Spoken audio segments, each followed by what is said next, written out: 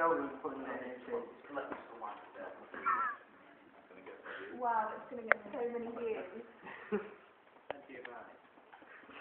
He'll go cry like So just send something in Polish, it'll be funny. when he kicked out of the summer to be saying it again. Turns up.